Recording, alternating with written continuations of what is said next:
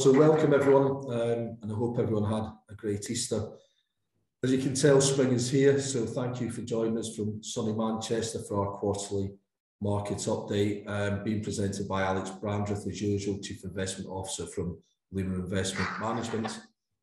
Since the last quarterly update in January, and we also had an interim market update um, after the invasion of Ukraine by Russia. Uh, we've seen an increase in volatility in the markets from all asset classes that Alex will touch on. And I'm sure some of you will have received a 10% market drop letter. Just to reassure you, this isn't uncommon when there's some market volatility. Um, and we can't stress enough and reiterate the idea about focusing on clients' long-term objectives and not just short, short-term, excuse me, market volatility. Although we do have to be mindful mindful of these. So the presentation today, Alex will be looking at inflation and the impact on the cost of living on markets, the impact of the Russia-Ukrainian conflict. Alex will touch on what's happening with COVID in the UK briefly, as it's uh, we've seen a resurgence of some of the COVID rates. Thankfully, not no one uh, there's not as many people going into hospital. Looking at how we maximise um, investing in this environment, and we'll also touch upon looking at time in the markets and not just timing of the markets. Just before we start, some housekeeping and to mitigate any background noise, everyone should be on mute. Um, so just to check, the presentation is being recorded and will be on social media. The webinar will last around 40 minutes with questions and answers at the end, and these can be taken by the Q&A button on the Zoom screen below. So without further ado, I'd like to pass you over to Alex Brandreth, Chief Investment Officer from Luna. Thank you very much, Stuart, and hope everyone's well and had a had a lovely Easter as well. Um, it's definitely been an interesting quarter for markets, um, with with investors suddenly worried at the start of the year about interest rates and where inflation was as Stuart touched on, the, the sad events of Russia invading Ukraine had another, um, well, obviously a humanitarian crisis, but an impact on markets as well. Uh, and then in March, you saw stock markets recover, uh, bouncing from their lows. Um, so we're going to we're going to go through the reasons for all this, how different asset classes have been impacted during this environment, uh, and just as I said, if, if there is any uh, questions, as Stuart said, please feel free to uh, ask them as we're going through. So I'm going to start sharing my screen now. We can go formally through the, the slides. There we go. Stuart's already touched on what we're going to go through today in terms of um, cost of living, the impact of Russia on markets, and, and how to invest in this backdrop. Just before we go into all that, I think it's worthwhile just spending a few minutes just introducing Luna and explaining who we are and, and what we do. So Luna uh, is an appointed representative of a company called Thornbridge. Uh, essentially, they provide our regulatory permissions and compliance. It was a very quick way of Luna becoming um, active in trading when we started just over two years ago now. All we do is discretionary management. Uh, we are based in, in sunny Manchester, as we touched on earlier. What discretionary management means is that if a client entrusts us to uh, manage money on their behalf, then we can make decisions without informing them and asking their permission. For example, um, if we decided now was a good time to be investing in Tesco, um, we could we could do that on a client's behalf, and we don't have to have to ask for the client if we if it's okay if we buy Tesco as you can see from my grey hairs uh, and the, the Luna website, um, there is a number of uh, individuals at Luna that have a huge amount of experience of managing portfolios, um, investment markets, client uh, journey, compliance, um, portfolio management, etc. Uh, we've got a very well-resourced team, and that team is actually continuing to grow over the course of this year. So what do we do? Um, we've got three core services at Luna bespoke portfolios, they are truly bespoke. So if you have any individual needs or requirements, whether that be ethical or um, income requirements, or you want to avoid certain asset classes, then we build that portfolio specifically for you, our client. Outside of that, uh, we also offer a model portfolio service, which is only available via a financial advisor like Pareto. And we also offer an AIM portfolio service, which means that you go away and you buy individual AIM companies. Now, AIM companies are smaller businesses. but they are also well-known businesses as well. So a good example of an AIM company would be Jet2, the airline and holiday operator. They just happen to be listed on the AIM market and not the main FTSE 100 or London Stock Exchange market. And after holding those companies for two years, they're therefore outside your estate for inheritance tax planning. So it's a good inheritance tax planning tool that is used by financial planners uh, for, for people um, who have an inheritance tax issue. And you know, we are delighted that despite the fact that uh, Luna's been only going for, for just over two years now, um, the individuals, the services, the software, um, the processes that we have in place have been reviewed and analysed by Defaqto as a third party representative. And we've been given this expert rated for, for two of the three services that we provide. They actually don't provide a rating for the AIM portfolio service, and, and that's why we haven't gone for that. So that's enough about us. Um, this uh, one of the most common questions that we're getting at the moment is the cost of living. It's why is my why fuel prices going up so much? Why is my mobile phone, go, uh, phone bill going up so much? What's going on with energy prices? That's certainly having an impact, and and all of those put together is pushing inflation up.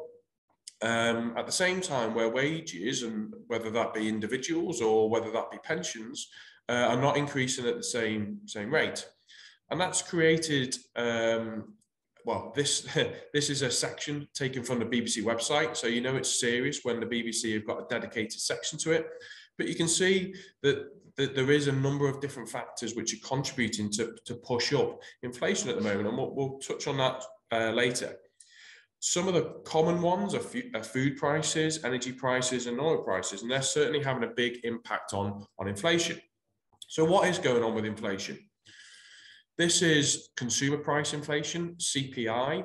Um, this chart goes all the way back to 2011, so just over just over 10 years of track record here. And you can see how inflation has ebbed and flowed over the previous 10 years. When we were coming out the financial crisis, um, inflation started to surge. In fact, when you're coming out of recession, you do tend to see inflation starting to pick up. And one of the reasons for that is because demand's increasing. Demand is increasing significantly, which means that uh, the cost of goods increases. And that's exactly why, right at the beginning of this chart here, you can see inflation was around 5% when we came out of the recession of, of 2009, 2010. Since then, and this is quite crucial at the moment, and it's just worthwhile being mindful of this. You can see how inflation slowly fell away over the last five years. We then had Brexit and the impact on sterling, which meant that inflation picked up. But then again, inflation fell away, um, particularly during COVID, because again, whilst demand being positive can have a positive impact on demand, demand being weak, um, which it was in COVID because we weren't going out, we weren't consuming, we weren't going to restaurants, pushed down inflation. Whereas now you can see that inflation has really taken off over the last year or so. Now, on the next slide, we've got a few, few different uh, rationale behind that. I've already touched on some of them. But this, this number here was the highest number um, of 7% going back to when the national statistics actually started. It's the highest inflation figure for 30 years. And whilst this is consumer price inflation, and that's running at 7%, there's also retail price inflation, which is another inflationary um, calculation which is done by the Bank of England, uh, sorry, by the Office of National Statistics. And that's running at 9%. Now, some, um, some operators, some different firms actually use retail price inflation to push through higher prices. Um, I've got an O2 uh, mobile phone and they quoted the uh, retail price inflation for their most recent increase in costs.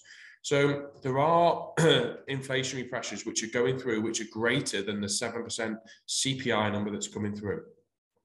Now, investors, uh, commentators are really good at telling you what's happened. they don't really concentrate too much on what's going to happen. And that's what I want to spend a couple of minutes doing now. Now, inflation predicted by the Bank of England, by economists, is expected to increase over the next month or two it's probably going to hit 8% uh, consumer price inflation. So it's going to expect this to carry on going for another month or two. That being said, inflation is an annual calculation. it looks at the prices a year ago to the prices where we are today. And the annual impact at the moment is pretty high, and hence why they have a high inflation number.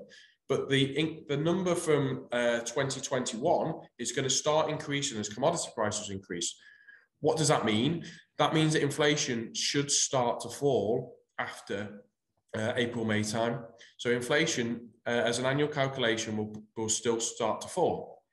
There's one caveat to that though, um, and that's the energy prices. Energy prices are set, as we now know, on a six monthly basis, April and October. And if the natural gas price stays where it is today, um, then it could easily be possible that you see another increase in energy bills in October. That being said, I mean, there's still a lot of different factors that can in fact in, influence that number. Clearly, the, the conflict between Russia and Ukraine will, and I can explain why that is later. But there's, there's other um, demand supply of energy, weather, etc., which will have an impact on, on the energy price uh, in October. Now, what this chart shows is actually breaks down the different parts of inflation and shows you know, what is contributing to this high level of inflation within the UK. Is it one factor? Is it several factors? And you can see here that there's there's nine factors um, which contribute to, to inflation. This chart only goes back to March 2020 at the beginning of the pandemic. And you can see the different factors that have been influencing it over the course of the last year or so, or two years. The ones I want to highlight, really, which are the biggest contributing factors, is this green bar here, which is uh, energy bills. It's house, housing and household services. So we all know that the energy price um, has, our energy bills have been increasing. You can see that within this figure here. And that number is one and a half percent. So one and a half percent of the 7% is of inflation at the moment is being driven by, by energy costs. The next biggest contributor is this kind of maroony colour here, which is transport. And what that effectively means is it's the oil price, it's the cost for, for travelling, it's it's filling up the filling up at the pump. Um, as we've already touched on, March was a, a record month for pe petrol and diesel prices within the UK and one of the largest monthly jumps on record. But it's not just those two factors. You can see all of the factors, all of the different uh, inputs into inflation are all positive at the moment, all nine of them. Um, clothing and footwear, which is this kind of purpley number, that is the biggest annual increase in clothing and footwear footwear on record. So it doesn't look a lot, but it's a big impact. Again, that's because of supply side problems, but it's also to do with uh, commodity prices increasing as well. The next uh, biggest contributor is furniture and household goods. Again, it's that kind of goldy colour. It's never really had an impact at all when you're looking at inflation over the last two years. But suddenly, because of the fact that commodity prices are increasing, because of the fact that the oil prices increased to a certain extent, it's starting to have a factor and an impact on in terms of inflation. And the last one, which has really had an impact, is re recreation and, and culture, which is this kind of pinky line here or pinky dot square, sorry. And you can, again, you can see that that started to increase more so than it ever has done in the past. So it's not just one thing. It's not just um, our energy bills that's not are going up. It's not just the cost of the, the pump. There are so many different factors which are contributing to the increase in inflation at the moment. Now, one of the common things to do when it, when inflation is, is moving up is for the Bank of England to look to increase interest rates to try and rein that in. And this chart goes all the way back to the 1970s to show the different impact of, of interest or different level of interest rates over time. I mentioned the fact that the last time inflation was this high was 30 years ago, which was in 1992. And you can see that interest rates at the time were around 10%. So we have the same level of in inflation today as we did in 1992, but interest rates then were 10%, and today they're 0.75%. So the Bank of England have increased interest rates three times at the last three meetings December, February, and in March, which has moved them to 0.75%. Interest rates will continue to move higher over the course of the next year or two, but they're not going to get to the levels of, say, 10% um, that they have in the past. They're not even going to get to the levels that we were pre-financial crisis of five or six percent. And the rationale for that is because the UK debt situation is the worst it's been for 55 years. We have more debt as a percentage of GDP now than, than we, we have done in the past. And that's um, only been exceeded in times of war. So the UK, that means that the UK economy, um, the UK government are more sensitive than they ever have been uh, to an increase in interest rates. So a 1% increase in interest rates now means that the UK government have to find 25 billion in extra debt interest payments. That is clearly not a small, uh, insignificant number. And when the government is one of the biggest employers in the UK as well, then there's clearly other uses that they can have um, than just paying on interest payments. That's where we where we are in terms of interest rates. So interest rates will be moving higher um, to maybe one and a half or two percent. But as I said, they definitely won't be moving to the levels that they have been in in the past. And I think there's a there's a, a tendency to think this is just happening in the UK um, because we, are based in the UK, and that's definitely not the case. Um, interest rates globally have started to move higher. Um, in the US, interest rates have already moved higher. Um, not not not yet in in Europe, um, but interest rates globally are starting to move higher because the it's not just the UK that's seeing this high levels of inflation, and and um, invest in and central bankers are looking to control that as much as possible. Now, why won't interest rates go up significantly? I've mentioned the fact that um, we already have so much debt, but one of the other reasons is there's not really a lot the Bank of England can do about this type of inflation. It's commodity price inflation which is coming through. The Bank of England can't control what's going on with the oil price. The Bank of England can't control what's going on with the natural gas price. So interest rates are going up because the thing that they can control is, is consumer confidence and, and potentially wage inflation. So if wage inflation becomes entrenched within the UK, then that can have a significant impact um, and future inflation and keep inflation higher for longer. And that's why the Bank of England are increasing interest rates. They're not increasing interest rates now because of what's going on with commodities. They're increasing interest rates now because they're worried about the long term impact inflation being embedded into the system. It's not all bad news. Uh, I appreciate we've been talking about what's been going on from inflation, and it's, it's definitely feeling a squeeze. And, and that's why uh, we have cost of living uh, splashed everywhere at the moment.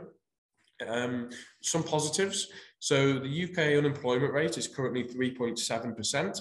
Um, this chart goes back all the way to the 1970s, and you can see that that's pretty much at the low. Uh, UK unemployment is at the lowest it's been for, for 50 odd years. Um, the COVID spike in unemployment was, was very mild. And that's a function of the fact that the furlough scheme was there to support and stop employees um, going through redundancy. If it hadn't been there, it's, it's likely that unemployment would have been back to the levels of, of the financial crisis. That being said, you can see how strong the recovery has been. It's been one of the quickest recoveries in the employment market that we that we've seen.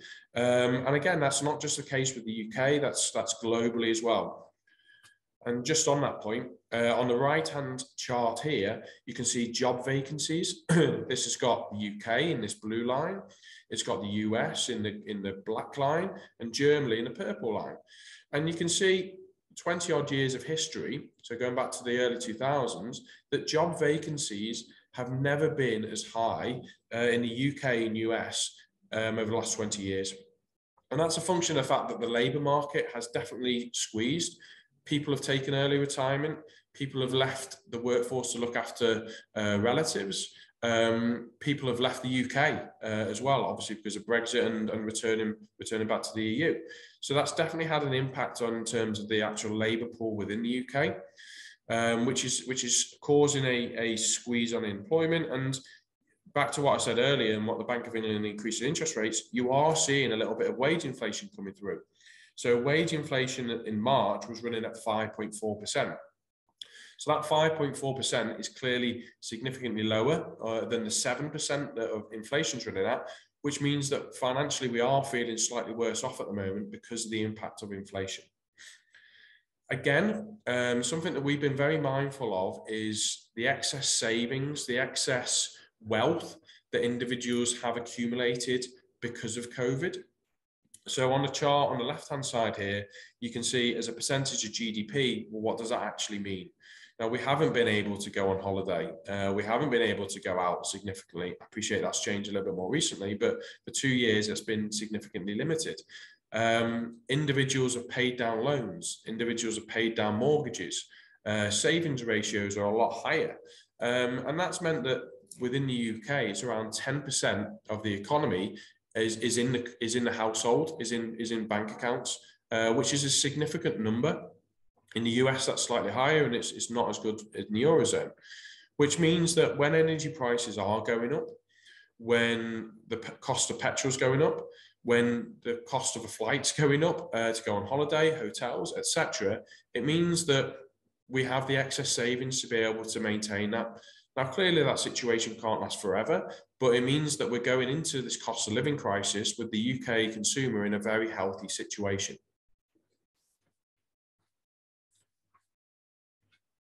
One of the common questions that we're getting at the moment is because of inflation, because of what's going on with Russia, because of other external factors and, and COVID, etc., are we going into recession? And the answer to that at the moment, as we look at the statistics and the data, is no. On the left hand side, you can see where we are from an economic growth perspective, and, and this is globally. China is is slowing. Um, Chinese uh, Chinese are going through a period of restrictions, and when you go through a period of restrictions because of COVID, it impacts economic growth. So, so Chinese growth is slowing, but you can see that it's been very strong for a very, long period of time, which is that orange line there from, from back to 2006. You've then got the US. The US is now back on the trajectory that it was pre-COVID. Um, the UK is catching up. Uh, the UK is now economy is now bigger than it was before the pandemic, and Europe is Europe has been lagging uh, and, and probably will lag a little bit more because of the proximity to, to Russia. On the right hand side, what wanted to show here is well, what were economists thinking at the beginning of the year and, and what are they thinking now? So the blue bars show what everyone was expecting or economists were expecting for economic growth in different regions um, over the course of, of, of this year. We're now a quarter in. So what are people thinking now? So that's these green bars. And I want to focus in on the UK uh, because that's where, where we're all based. And you can see that at the beginning of the year, economic growth uh, was expected to be about 4.7% uh, in the UK's case. With inflation picking up because of the conflict, that's now expected that the UK economy will grow by 4% this year. Now, what does that 4% mean? Well, the UK economy in good times tends to grow by about 2%. So, what we're saying here is the UK economy is going to grow by double uh, a normal year. And that's because you've still got this COVID bounce back coming through. Uh, and we're going to have a, a, full year of it this year. It's important to remember the last year, um, we, we still had restrictions in place for, for the first quarter or so as well. So that you know, we didn't have the full benefit of a uh, no restrictions being in place. Now, clearly that situation can change and we've, we've been through this enough over the last two or so years to know what COVID is very unpredictable. But at the moment, as we sit here today with the current government policy, um, that shows that the economic growth from the UK can continue to bounce back. Now, again, it's not just expected within the UK. You can see that global growth this year has now been revised down. The IMA, IMF actually came out with some statistics um, yesterday, which said that globally they expect the global economy to grow by 3.6% this year. Excuse me, that number's been revised down by 4.4%, which they had at the beginning of the year. So in, global institutions are expecting that growth will be weaker this year because of the impact on inflation and because of the uh, impact of Russia. But it's not going to be a recessionary environment, and that should provide some comfort to, to yourselves. Now, I wanted to, it's, it's, a real shame that we have to talk about this because you know I prefer not to talk about humanitarian crisis and war during a presentation um, because it doesn't doesn't help anyone and it's very sad the events that are going on at the moment. But our job as investors is to understand you know the impact that that's having. So uh, I'm going to touch on the impact on markets, uh, but clearly you know there's, there's, it's a very sad environment that we're going through at the moment. The first thing to highlight is the increase in the oil price, the increase in natural gas price, etc., is because Russia and, and Ukraine produce a lot of different commodities. And we've got a chart, the next page has got a chart on just what um, is those nations. That's meant uh, commodity prices, commodity companies have done very well. As the price of the commodity has gone up, the, the, the actual uh, cost of production has stayed the same, which means that those companies are making more profits. So their share prices should go up. And that's why you've seen BP, Shell, but also mining companies perform very strongly this year. As we've touched on, um, further increases in inflation, further increases, uh, sorry, further increases in commodity prices will only continue to push up inflation. And that caused investor nervousness in February we actually did um, this, special uh, webinar in, on the 4th of March. And what we said at the time was please don't concentrate too much at the short term. Please concentrate on your long term objectives. And the reason we did that is because we've seen this several times in the past. We've seen markets suffer from events. Um, we've seen markets uh, under pressure from wars in the past. And what tends to happen in that environment is the market, stock markets, fall in anticipation and in the early uh, days of those events. But suddenly, investors' mindset changes. Investors' mindset now is focusing on when's the war going to come to an end. We know that this environment is going on. In the past, it was an unknown environment. And that's meant that stock markets have recovered. It can be very uncomfortable at times to be invested, and we fully uh, accept that and understand that. Um, but some of the best returns that you can make are actually when you feel the most uncomfortable. We saw this in COVID. Um, for those of you who heard the story, I apologize because I tend to mention it quite a lot. But the low in, lower the stock market during COVID was the 23rd of March 2020. The day that Boris Johnson stood up to say that the UK was going into a national lockdown was the 23rd of March 2020. That means that stock markets bottomed at the worst possible point. They bottomed when when we knew the fact that they were going into lockdown. And then as soon as we are in that environment, stock market started to recover because they were looking through that. They were looking through to restrictions being eased and a new environment. And that's exactly what's happened this time as well. Uh, markets bottomed when the, when Russia had invaded the Ukraine a few weeks afterwards. That tends to happen with investment markets. And that's why we did that special webinar. That's why we did um, the, presentations during COVID two years ago, because we know that's the case. Um, it happens, it's happened so many times over history. And our job as investors is to remind, remind yourself of that and try and try and keep calm because some of the best returns that you can make can actually be uh, in that environment. Bonds are a safe haven asset. People invest in bonds to, to for security, and when um, tensions are increasing, bond markets are seen and, and investors go to, to, to, bonds for safety. But they, they, they work in the reverse of stock market. So the low of the stock market was actually the high of the bond market, and bond market prices have actually started to come off in, in March.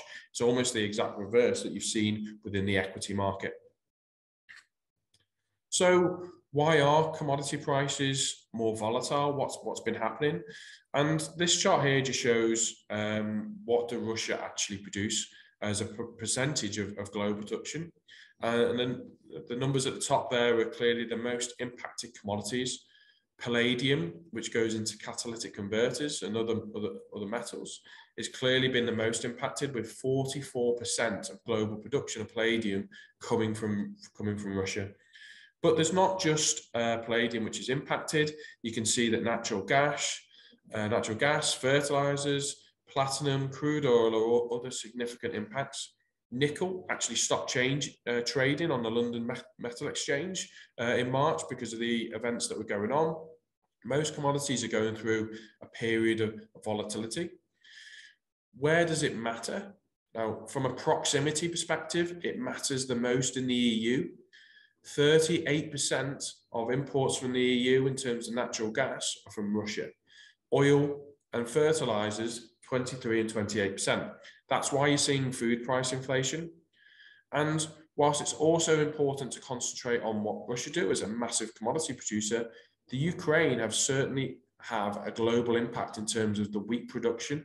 They have 12% of the EU imports of, of, of wheat um, from the Ukraine. So it, it, matters what's going on at the moment because it's pushing through food and um, commodity price inflation. And look, I think we all want an end to this war for the humanitarian consequences that we're going through, most importantly.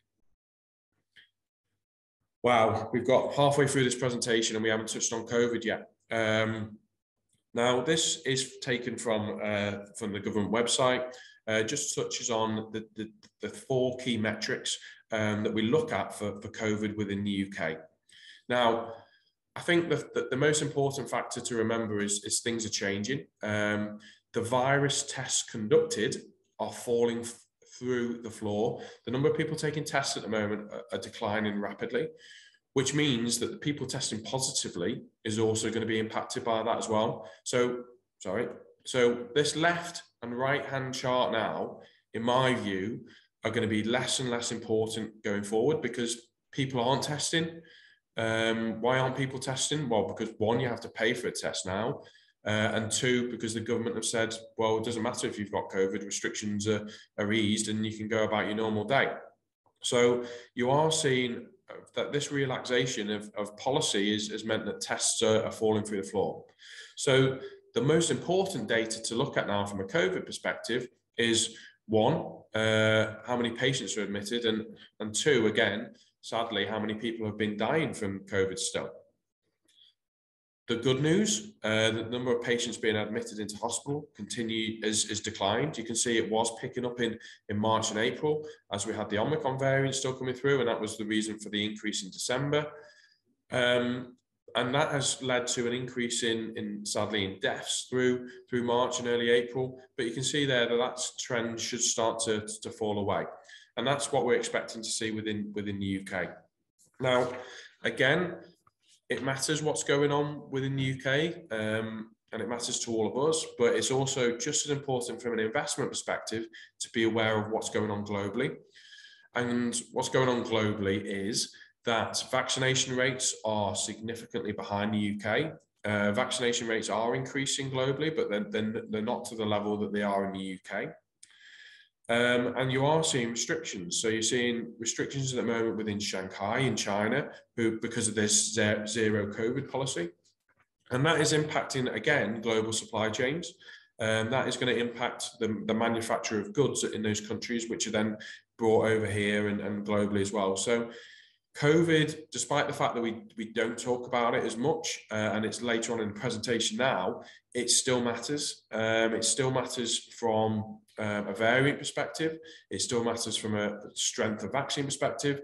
And other countries are going through periods of restrictions, which will ultimately impact us. So I think investors still need to be very mindful of the impact that, that COVID can have.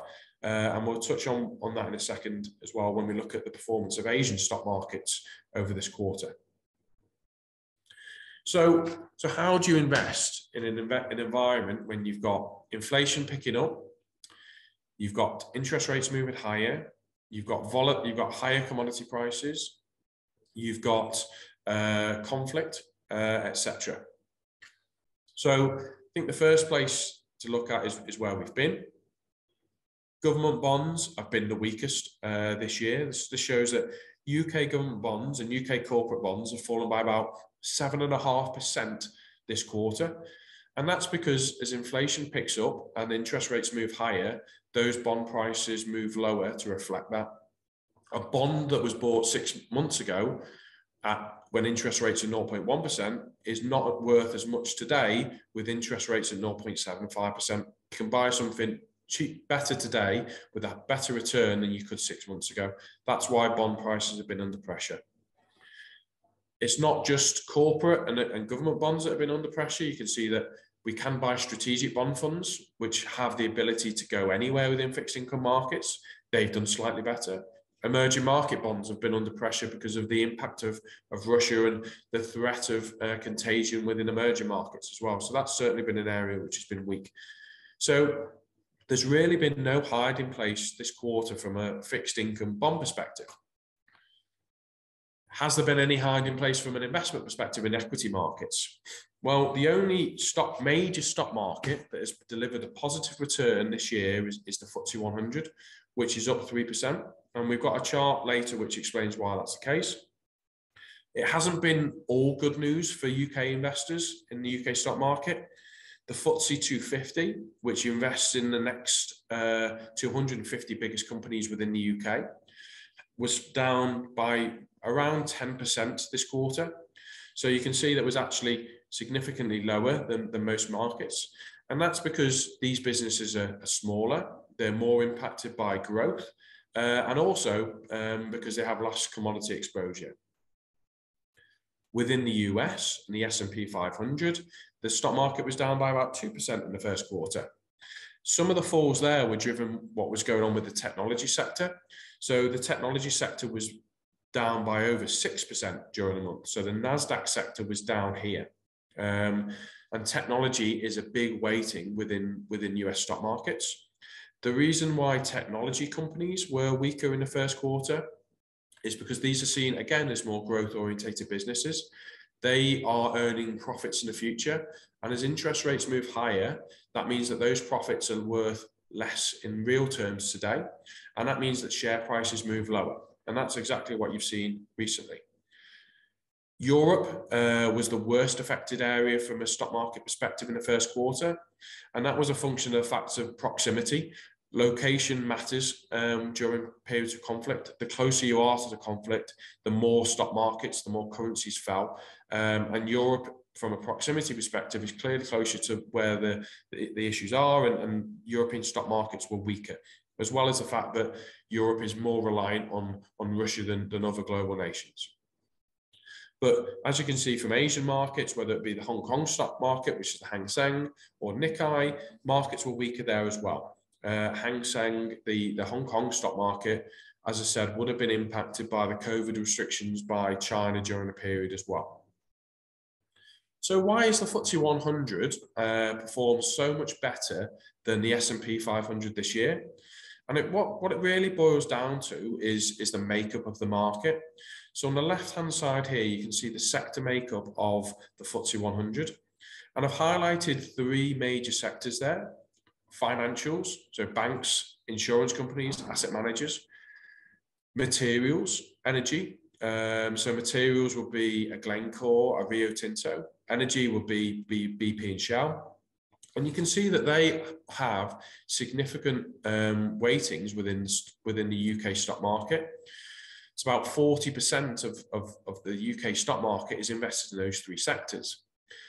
And the environment for the FTSE 100 has been very strong this year. We've already touched on what's happened with commodity prices. Commodity prices being higher, um, costs of production staying the same means that the profits for those businesses go up. But banks also do well in a raising interest rate environment, which is the environment that we've been in uh, this year and looks likely to be the environment that we're in, importantly, for the rest of this year. Whereas on the right-hand side, you can see that the S&P 500 has the biggest sector in technology. So we all know who those companies are. It's your Apples, your Facebooks, your Microsofts, your Googles of this world. They have big allocations those companies have done fantastically well over the last five and 10 years, which has meant the weighting of technology has only increased to the highest ever level um, within the S&P 500. And when interest rates are going up and growth is, is people are concerned about growth, then those companies become under more pressure. Also, there's you know there's an argument that they have done so well, so there's definitely a bit of profit taking gone on within these businesses. But you can see and on the flip side, the allocation or the holdings in financials is, is significantly lower. Materials is very low and, and energy is low. So compared to the UK, where there's 40 odd percent in those markets, the the S&P has, has only got a roughly 20%. So the UK has got double the weighting in, in those three sectors. And on the flip side for the UK, there's not really any technology businesses within the UK, um, so it hasn't had the same impact that you've seen from, from technology companies coming under pressure. One of the biggest conversations that we have with investors at the moment is inflation's at 7%. It's probably going to increase to over 8% in the coming months. but I'm getting 0.75% from the Bank of England. What do I do with my, with my money? Um, and that is a that's a problem that people are talking about now. But as this chart shows, this has been a problem for, for 10 years or so because interest rates have been low for a long period of time and inflation has been gradually eating away at people's savings. So this is a 10-year chart. So going back to, to 2012 uh, to where we are today. And there's a 30% difference between inflation, which is retail price inflation in this instance, versus what you can get at the bank. 30% over 10 years is, is a huge number, and that's gradually been compounded and eroded away, away over time. And it's, it's this is one of the biggest challenges we have from an investment perspective at the moment. This is why we're talking to more clients than, than we have done about, you know, what are you doing with your cash? Are you making your cash work? Because in real terms, it's being, uh, being eroded. And that is exactly what financial repression is. Uh, so it's a huge gap, and it's the biggest gap that we've seen between inflation and interest rates right now. So something definitely to be mindful of, and you can see here that that's only accelerating over the last year or so because of what's been going on. One of the most important charts and one of the um, key messages that I want to get across today is we've spent a lot of time talking about what's happened over a quarter we spent a lot of time talking about the different impacts that's going on right now. But we and yourself should be uh, long term investors. We should be riding through these periods of volatility. Um, we should be looking to take advantage of opportunities that present themselves when we go through periods of, of, of, volatility. And that's exactly what we've been doing here at Luna. And that's what you should expect from your investment manager. We are at our busiest during times like this because we can find good quality businesses at cheaper prices. And what this what this chart shows is going back all the way to the to 1945, um, the performance of the FTSE All Share, the, the the, the UK stock market, and the returns that you generated over those time periods. The green bars or the green uh, bit of the chart here show the the different bull markets. You can see the percentage return of the different bull markets. In black, you can see how long they last. And on the underneath the chart, you can see the different bear markets that we've had uh, and how often, uh, you know, what the falls have been when we've gone into a bear market and how long a bear market tends to last. The last bear market we saw uh, was was COVID. So this is February and March. You can see it was only a couple of months, but the stock market fell by about 25%. On average, a bear market lasts just over a year, so it was a shorter bear market. And what I wanted to highlight though is, is the good, good news, the good side of this. This current market, bull market that we're in, is very small compared to, to previous bull markets. We're about just over two years into this bull market, uh, two years and one month to be precise. Uh, and you can see that the average bull market lasts for just under six years. Now, who knows if this is going to be an average cycle? Is this going to be longer or shorter than others? Um, clearly, the, the, the effects of the last few months with inflation and Russia have, have maybe pushed that bull market slightly shorter. But that being said, um, economic growth this year within the UK is, is going to be a, a, double year at 4%, or potentially a double year at 4%. So economic growth is, is still positive, which is still a, a strong period to be invested in, in equities. The last time that we had inflation running at 10%, was in 1992. And you can see how strong the equity market, the UK market was in that environment. That bull market lasted for just under 13 years. And if you'd invested right at the bottom to, and sold out right at the top, you would have made five over nearly six times your money, 571% return from your investment. At the moment, we're only from the bottom of the market in March 2020, the FTSE is only up 42%. And the FTSE has actually been a, a laggard compared to other global markets over the last two years. Yes, it's had a good quarter, but the FTSE uh, has lagged other global markets. Um, so there's definitely some catch up to, to come. Now, the important part of this chart as well is, is, is the power of investing over time and the compounding impact that I can have. Over this time period, we've gone through wars, we've gone through oil crises, we've gone through bubbles, We've had shocks to the financial system, financial crises, um, COVID. Now we markets and investors go through a lot of challenges all the time. It's just what we have to deal with on a day-to-day business, day-to-day basis. Companies evolve, businesses evolve, and more importantly, individuals evolve to the environment that we're in. So we're just up on time now for the formal presentation. So I just wanted to conclude with a few final remarks. Clearly, it's very, very sad uh, what's going on in the Ukraine. Um, and from a, from a growth perspective, as we touched on, that's, that's impacted global growth this year. And that is going to keep inflation higher uh, and higher for longer. Inflation, though, is probably peaked now. Inflation within the UK will likely start to fall from, from the summer. Oh, sorry, someone's gone a bit wrong there. From an investment perspective, what do you do? Well, when you've got inflation running very high, then government bonds and cash, which have got very low yields, are very unattractive asset classes. Um, so we've had a very low allocation to them, which has helped protect portfolios this year. As I said, bond markets have been some of the worst performers in the first quarter. The on the flip side, because of the exposure to commodities, the FTSE 100 has been one of the best global stock markets um, since the turn of this year. And with, within Luna, we do have a bias within the UK. We feel the UK has been disliked, hated um, since, since, the Brexit referendum in, in 2016, and which left the UK uh, equity market looking significantly cheaper compared to other global markets. And despite the fact that the UK has had a slightly better quarter, it hasn't changed that impact. The UK still looks good value. We get a lot of questions um, during periods of volatility, and that's absolutely right. That this is what we're here to do. We're here to speak to you. We're here to tell you what we're doing during periods like this. But what I would say is, please don't concentrate too much on the short term because it can feel uncomfortable going through periods of volatility like this, but we've been here before. We've seen financial crises, we've seen COVID, we've seen wars.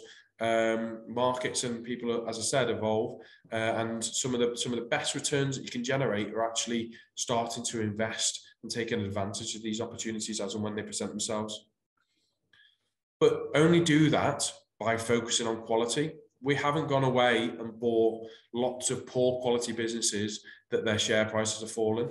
We want to invest in businesses over the long term, and that one of the best ways to do that is by focusing on quality. So that's all from me. I'm going to stop sharing. Stuart's just reappeared to uh, scare you all. Uh, so uh, over to you, Stuart. I think we've got a few questions. Yeah, there's a couple of questions, Alex. Uh, one came quite early on with regards to the FTSE's high, but people's portfolios are still in negative territory. I think you answered that with a couple of the slides, but do you just want to reiterate the reasons why? Because I know people see the FTSE and all the headlines that are in the UK and the BBC saying the FTSE's performing well and it's up at seven six.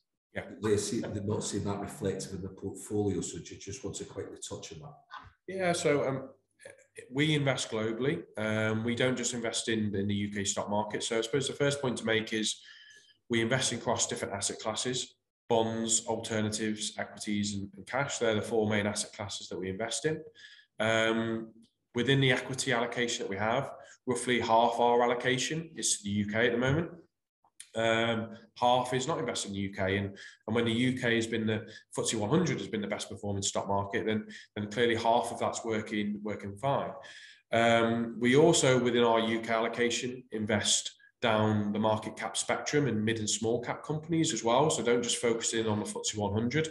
And as I touched on, despite the fact the FTSE's up uh, 3% this year, the FTSE 250, which invests in that next level of companies, is down 10%. Um, so it's not been all good news for UK investors. Um, so, so they're the predominant reasons why, really. I mean, bonds, uh, government bonds falling 8% in the quarter. It was actually the worst ever quarter from a, to, for, to be a bond investor uh, ever on record uh, because of the fact that interest rates are going up and inflation. Um, so, so, so yeah, bonds are there for, for, for your safe haven status and they've been under pressure as well. there's really been, the FTSE 100 has been the only hiding place that you've really had from an investment perspective. And as I said, the reason why the FTSE's done so well is because of the exposure to, to banks, which do well in the interest rate environment, uh, and commodities, whether that be oil or, or more miners like Rio and, and Glencore and the businesses like that. There's another question here about Russia potentially defaulting um, on on their debt.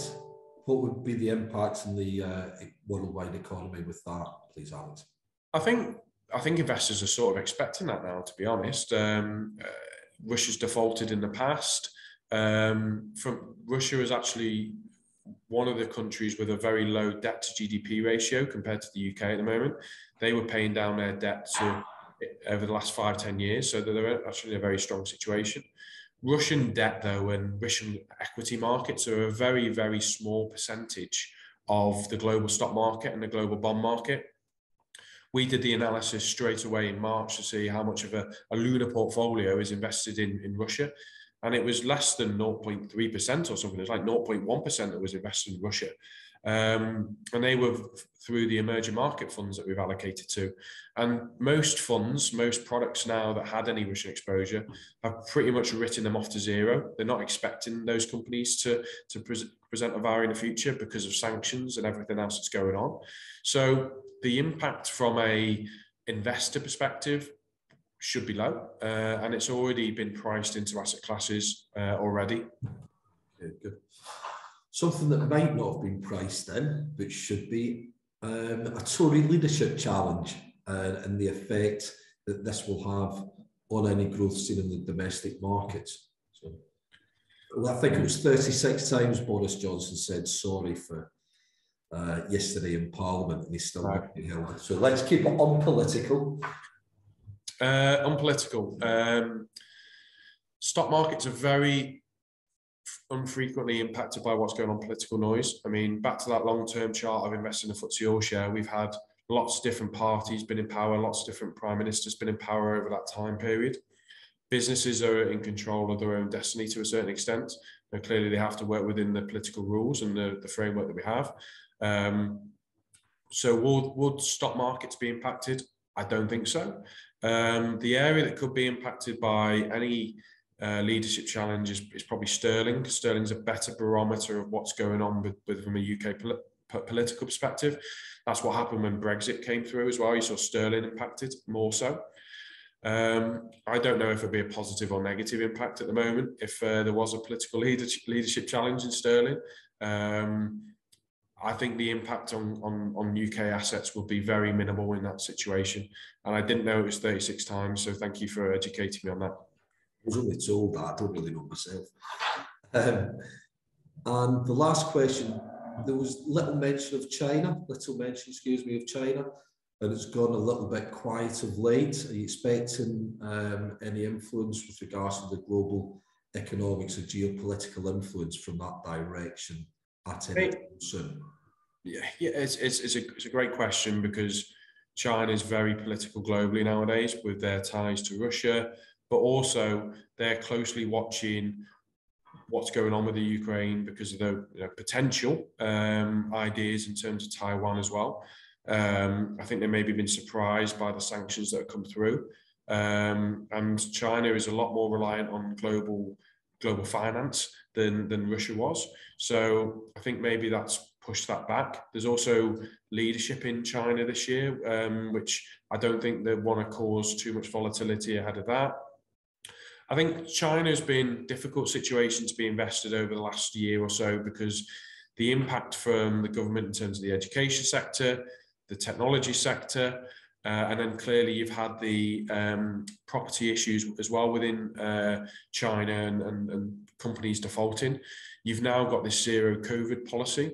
Um, so fortunately, from our perspective, we, we, we weren't big investors in China over the last year, and it's been a good thing because China and Asian and emerging markets have been some of the weakest um, stock markets over the last year.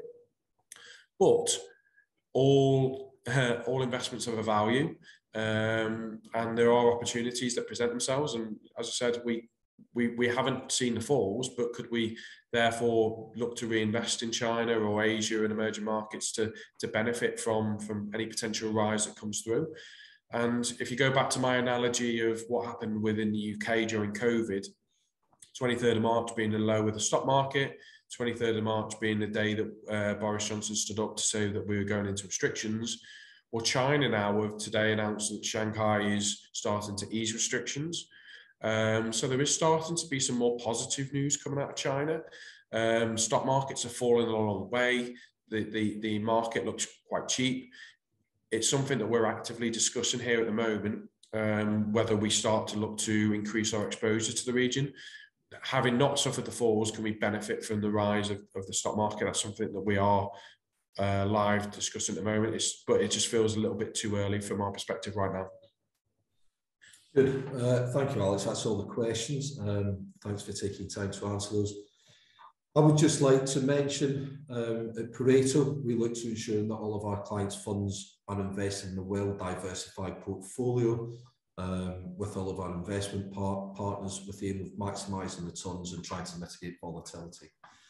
I'd like to reiterate what Alex said in terms of we should be conscious of short-term volatility However, this shouldn't be at the expense of clients' long-term needs and objectives. So again, I'd like to thank you all for your time today for dialing in um, and Alex, your time for presenting. The next quarterly investment seminar hopefully will be on the 20th of July at 10 a.m. Um, if we have an interim, it means that something's happened and the markets have had a reaction. So let's hope we uh, don't speak until July. If there's anything that you would like to discuss um, or any of your clients would like to discuss, please feel free to speak to your individual advisor um, or alternatively come through to myself and we at Pareto will assist you where possible. So thank you all for your day, uh, time, sorry, and I hope you all have a good day. Thank you everyone. All the best. Have a lovely day. Take care.